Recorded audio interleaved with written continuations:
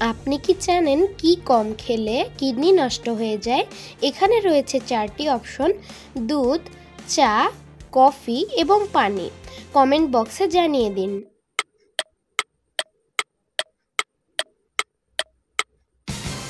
সঠিক উত্তরটি হলো পানি। তো যারা পেরেছেন তাদেরকে জানাই অভিনন্দন।